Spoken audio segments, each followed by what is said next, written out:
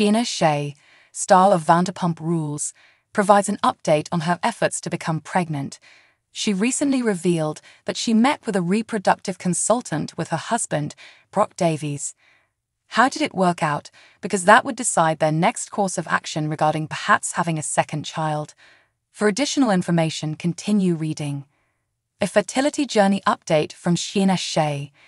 It was incredibly traumatic for Scheana Shay to welcome her first daughter, Summer Moon, in 2021. She was diagnosed with HELLP syndrome and preeclampsia. Her blood pressure suddenly skyrocketed, which was horrifying.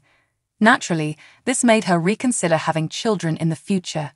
Scheana also received a postpartum OCD diagnosis. Season 11 of Vanderpump Rules revealed that she was afraid to leave Summer with anybody than her mother. Between her and her husband Brock Davies, who merely wanted to unwind and spend time with his wife, it created a great deal of turmoil. They have discussed having a second child.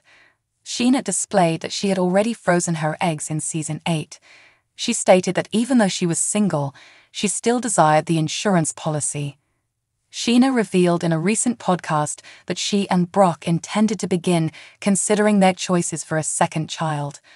They were therefore going to a fertility specialist to have his sperm examined. She has returned with an update, US Weekly reports.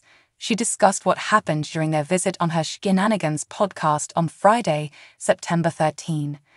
It seems that Brock is succeeding in terms of conception. He remarked he had never seen such quality sperm, despite the fact that Brock disregarded the doctor's advice. The previous evening, he took a frigid plunge and visited a sauna. He followed the doctor's instructions to the letter. It is very high, which is beneficial because Brock Davies and Scheana Shay are talking about having baby number two through surrogacy. We figure we're good at one and done if they said something like, Oh, I don't know about his sperm count. However, this is a proxy conversation. We'll see. I also have trouble thinking about what if all of the eggs fertilize? What happens if we just want one more child and I have six embryos? Scheana has also stated that she feels that this process may take some time and is unsure if she is truly ready for another child. Knowing that she has time on her side is therefore helpful. Alternative paths. In 2021, a few months after Summer Moon's birth, Scheana Shay revealed that there were other options besides surrogacy. They were considering adoption as well. I'll be fertilizing my eggs, thinking about adopting, thinking about using a surrogate, or thinking about taking our chances. We won't even consider it till after Summer becomes one year old.